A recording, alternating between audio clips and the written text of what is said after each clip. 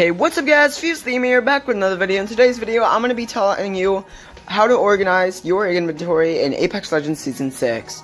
So, if you guys don't, um, you guys probably know, um, how, um, to organize your inventory, but some of you might not. Like, for example, you might put more grenades than heal healables, or more healables than ammo, or more ammo than healables. Something, you, you get the gist. Um, and I'm going to be showing you how I organize my loadout just to give you guys a general idea of how to organize your or, or um, your loadout uh, regularly on a daily basis.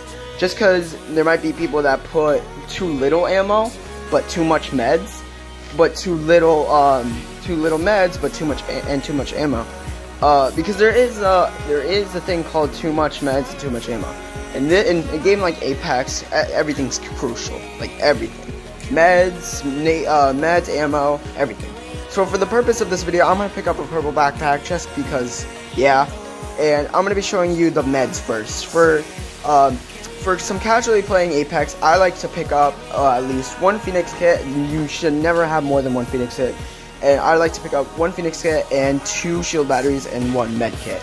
The reason because of this is because you normally um, use at least one shield battery or at least one med kit um, in a gunfight and um, never really use up all your medkits and all your shield batteries. And one after a fight, your the enemy team um, should have a couple of shield batteries just so you can replenish your healables. And yeah, so um, for light meds, um, syringes, and shield cells, I like to keep it simple and put four syringes and 12 shield cells. The reason I ha I would um, grab 12 shield cells and only four syringes is because you almost never use syringes in a gunfight. You normally just use shield batteries and shield cells, and on some occasions you use medkits. And but in those tricky gunfights, you most time use phoenixes as well. Like you don't see yourself popping some syringes. Most time, um, you use syringes as like a last resort in case you're running low on shield cells or like um, don't even have any shield cells or shield batteries. Um, usually, just popping a medkit would be nice. But shield cells are so incredibly good because of not only the low um, the low um, time it takes to apply them, but also because of how um, how great shield cells are in general. Um, if I'm being honest, like they're really good when it comes to actual combat. They're quick and easy to use. That's basically the whole general idea.